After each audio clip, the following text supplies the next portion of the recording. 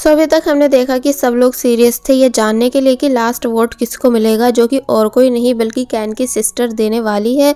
और फिर तभी वो यांग की बातों को याद करने लगी कि यांग ने कैसे कहा था कि वो उनकी कंपनी को बर्बाद होने से बचा सकता है।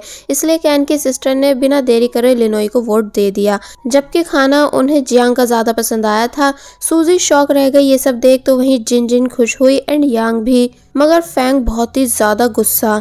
जियांग एंड लिनोई ये दोनों भी सरप्राइज़ थे, स्पेशली लिनोई जो कि जियांग से नज़रें तक मिला नहीं पा रही होती है कि तभी जियांग ने पहले लिनोई को मिस्टर कॉन्ग का नाइफ वापस किया और फिर अपना नाइफ लिनोई को देने लगा, जो कि लिनोई ले लेती है, मगर उसे ये सब कर बिल्कुल अच्छा फील नहीं हुआ एंड देन जियांग उदासी के साथ यहाँ से चला गया।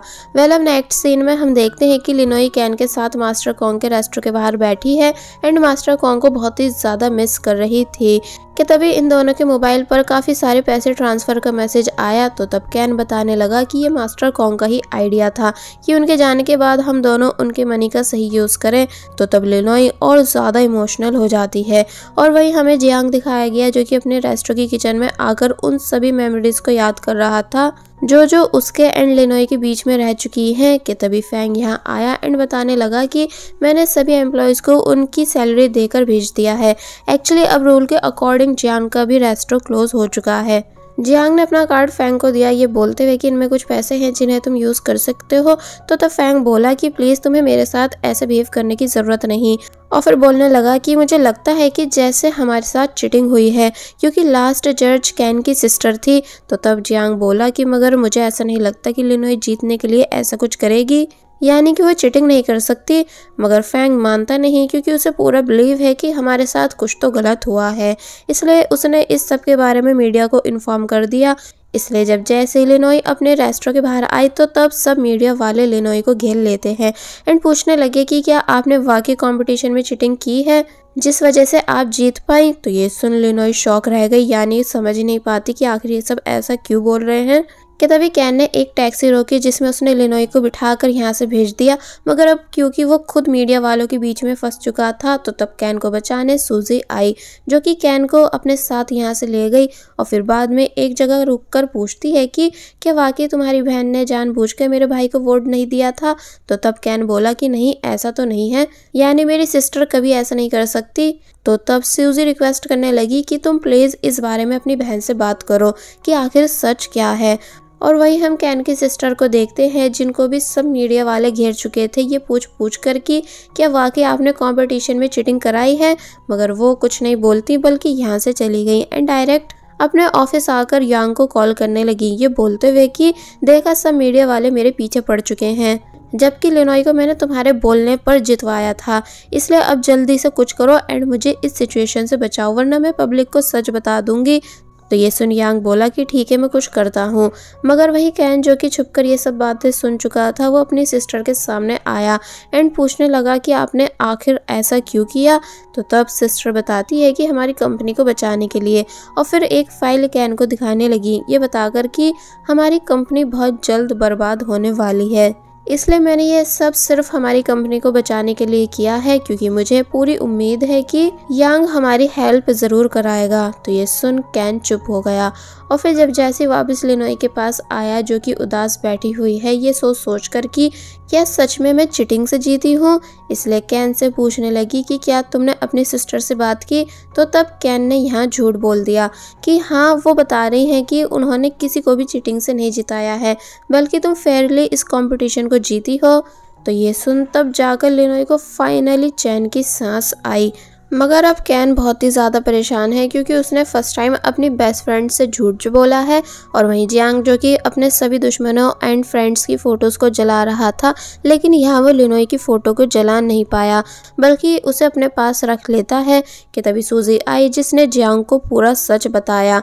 यानी कि मास्टर कॉन्ग वाला कि उन्होंने पास्ट में आखिर क्यों सूजी को एक्सेप्ट नहीं किया था? बिकॉज़ उनसे ऐसा करने के लिए सूजी नहीं कहा था।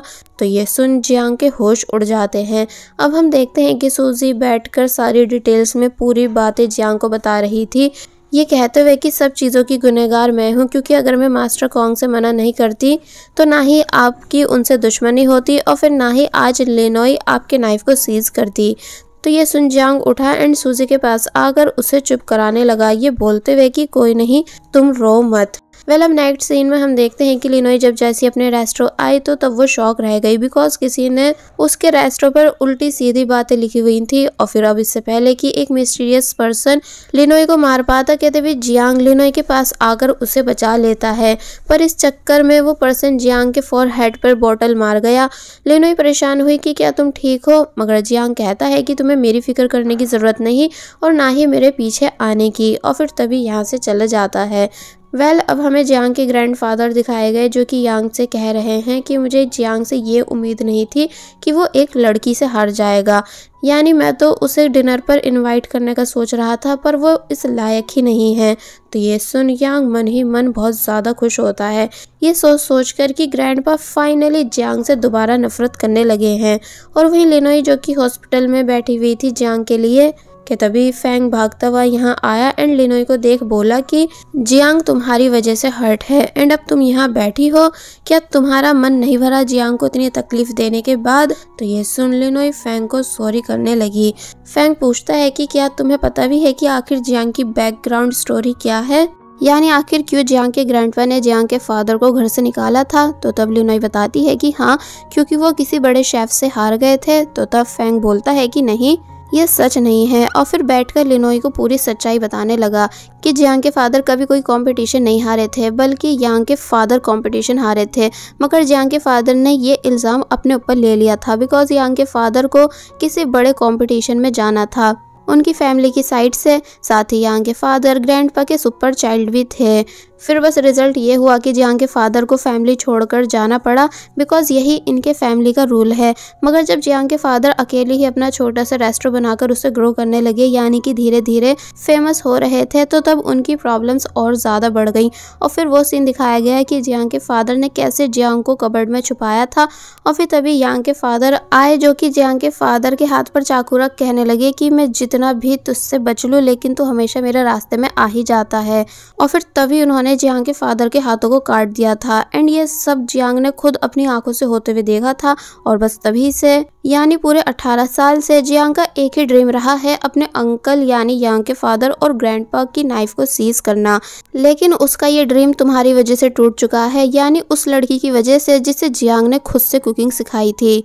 तो तब ही कुछ नहीं बोलती, बल्कि बस चुप बैठी रही। कि तभी जियांग भी यहाँ आ गया, जिसको मीडिया वाले घेर लेते हैं। ये पूछते हुए कि, क्या वाकई आपके साथ कंपटीशन में चिटिंग हुई है? तो तब जियांग पहले तो लिनोई को देखता है। और फिर सभी से बोला कि नहीं, ऐसा नहीं है, यानी कि मैं फेयरली हारा हूँ। इसलिए आप सभी प्लीज़ इस टॉपिक को यहीं ख़त्म कर दो। तो ये सुन, वो सभी चुपचाप यहाँ से चले गए। लिनोई जियांग के पास आकर उससे सॉरी करने लगी तो तब जियांग कहता है कि, मुझे अफसोस है कि मैंने अपनी मिसअंडरस्टैंडिंग की वजह से मास्टर कॉन्ग की नाइफ को सीज किया था, जिन्हें मैं सॉरी तक नहीं कर पाया बिकॉज़ अब वो इस दुनिया से जा चुके हैं। पर तुमसे मैं सिर्फ़ इतना बोलूँगा कि फिर दोबारा मुझसे मिलने की ज़रूरत नहीं बिकॉज़ अब हम दोनों के बीच सब खत्म हो चुका है और फिर तभी इतना कहकर वो यहाँ से चला गया। तो तब लेनोई बहुत ही ज़्यादा उदास हुई और फिर जब वापस अपने घर आई तो उसे पता चलता है कि वो फ़िश भी मर चुकी है, जो कि जियांग ने लेनोई को गिफ्ट की थी। इसलिए लेनोई ज़ोर ज़ोर से रोना शुरू कर देती है ये बोलते हुए कि जियांग भी मुझे हमेशा के लिए छोड़कर जा चुका है एंड उसकी दी हुई फ़िश भी। तो तब लेनोई के फादर लेनोई को चुप कराने लगे। मगर लिनोई चुप होती ही नहीं, बल्कि बस ज़ोर ज़ोर से रोती रही और वही सूजी जब जैसी कैन से मिलने आई और पूछती है कि क्या तुमने अपनी सिस्टर से बात की तो तब कैन कहता है कि हाँ एंड उन्होंने मुझे बताया है कि उन्होंने कोई भी चिटिंग नहीं की है। तो ये सुन सूजी को बहुत ही बड़ा झटका लगा कि इसका मतलब क्या मेरा भाई सच में कॉम्पिटिशन हारा है? और फिर काफ़ी बुरी तरह रोने लगी कि मेरे भाई ने बचपन से कितनी कोशिश की बदला लेने की, एंड अब वो सिर्फ़ कुछ ही स्टेप्स दूर था, लेकिन उसके साथ ये सब हो गया। एंड मैं अपने अपने भाई के लिए कुछ भी नहीं कर पा रही हूँ। तो तब कैन सूजी को हक कर चुप कराने लगता है क्योंकि वो बहुत ही ज़्यादा शर्मिंदा है। बिकॉज़ उसे अपनी कंपनी बचाने के लिए अपने ही दोस्तों से झूठ जो कहना पड़ रहा है। वेल, अब नेक्स्ट टाइम देखते हैं कि लिनोई और ज़्यादा शौक रह जाती है कैन के भेजे लेटर को रीड कर, जिसमें लिखा है कि वो लिनोई के साथ वर्क नहीं कर पाएगा। बिकॉज़ उसे और कोई दूसरी जॉब मिल चुकी है। इसलिए ये सब रेड कर लिनोई और भी ज़्यादा डाउन फील करने लगी बिकॉज़ अब एक तरह से कैन भी उसे छोड़कर जा चुका है। जिसके बाद अब दिखाया गया कि लिनोई विदाउट कैन रेस्टो को हैंडल कर तो रही है, जहाँ काफ़ी सारे गेस्ट भी आ रहे थे, मगर अब वो पहले की तरह खुश नहीं। और फिर जब पूरे दिन काम करके वापस घर आए तो यहाँ वो सरप्राइज़ रह गई। ये बात जानकर कि उसके डैड वापस से सेम वही फ़िश लेकर आ चुके हैं। जो कि मर गई थी। इसलिए लेनोई को एक उम्मीद दिखी कि वो भी इसी तरह जियांग को वापस पा सकती है। इसलिए जब भागते हुए जियांग के पास जाने लगी उन सभी मोमेंट्स को याद करते हुए जो जो जियांग और उसके बीच रह चुके हैं कि कैसे जियांग ने हमेशा लिनोई को प्रोटेक्ट किया है एंड ऑलवेज प्यार किया था। मगर जब जैसी वो जियांग के डोर की बेल प्रेस करती है तो तब कोई डोर ओपन करता ही नहीं, इसलिए लिनोई ने खुद से पासवर्ड डाला। बट अब क्योंकि पासवर्ड जियांग ने चेंज कर दिया था, इसलिए वो इस तरह से भी अंदर नहीं जा पाई, बल्कि वहीं खड़े होकर बहुत ही ज़्यादा उदास होने लगी। ये सोच सोच कर कि इसका मतलब जियांग मुझे सच में हमेशा के लिए छोड़कर जा चुका है। वेल अब नेक्स्ट सीन में हम एक बहुत ही बड़े शेफ यानी मिस्टर चाओ को देखते हैं जो कि वही हैं जिन्होंने बहुत टाइम पहले यांग के फादर को कंपटीशन में हराया था। वेल well, उन्हें कोई पर्सन फेक इंग्रेडिएंट्स बेच रहा था कि तभी जियांग यहाँ आया जो कि बहुत ही ज़्यादा ड्रंक है एंड देन बताने लगा कि ये इंग्रेडिएंट्स रियल नहीं। तो तब वो शॉप ऑनर डर गया एंड देन जल्दी से रियल इंग्रेडिएंट्स देते हुए कहने लगा कि प्लीज़ बाहर इस बारे में किसी को मत बताना। तो तब मिस्टर चाओ हैरान रह गए एंड अब इससे पहले कि जियांग को थैंक्स कर पाते, लेकिन वो यहाँ से जा चुका था। वह अब दिखाया गया कि जियांग जो कि बहुत ही ज़्यादा ड्रिंक करते हुए चल रहा है तो तब उसकी यहाँ कुछ लोगों से टक्कर हो गई, जो कि जियांग से लड़ने लगे। जियांग उनको सॉरी करता भी है, मगर जब वो माने नहीं तो तब जियांग ने उनमें से एक पर्सन को मारा और यहाँ से भाग गया। एंड देन एक ट्रक में आकर छुप जाता है, मगर अब क्योंकि वो काफ़ी ज़्यादा ड्रंक भी था, इसलिए तभी वहीं बेहोश हो गया। वो सब लोग जियांग को ढूंढते हुए आए, मगर जब जियांग उन्हें मिला नहीं तो वो चले जाते हैं। कि तभी ट्रक स्टार्ट हुआ जिस वजह से जियांग भी ट्रक के साथ साथ शहर से बाहर चला गया। वेल well, अब हमें नेक्स्ट डे का सीन दिखाया गया जहाँ जियांग को वही पर्सन उठाता है जिसकी जियांग ने हेल्प कराई थी यानी मिस्टर चाओ ये पूछते हुए कि तुम यहाँ कैसे? तो ये सुन जियांग जब जैसे उठा तो तब उसके खुद होश उड़ गए उस पूरी जगह को देखकर कि आखिर मैं ये कहाँ आ गया हूँ? वो भी शहर से इतना दूर और बस फिर इसी सीन के साथ ये पार्ट यहीं पर एंड हो जाता है। was a time when you had me fall into the ground.